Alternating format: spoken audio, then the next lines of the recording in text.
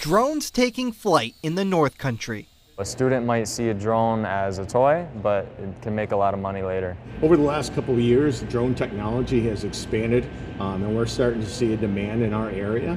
After being approached by several companies in the region, Clinton Community College will be offering a few drone courses beginning in the spring of 2020. There is a need for having this sort of training for, for meeting some industry needs. Where the use of the drones has expanded over the years.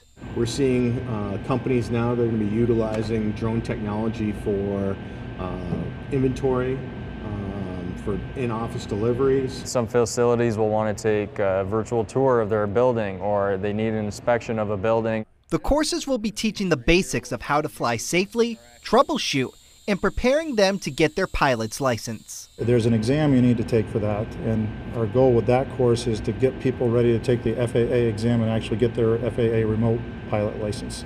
The course will be open to the public with the goal of strengthening the partnership between the students, the college, and businesses. It's a new endeavor for the college. It's something that our faculty are very uh, much looking forward to and really passionate about, and we have some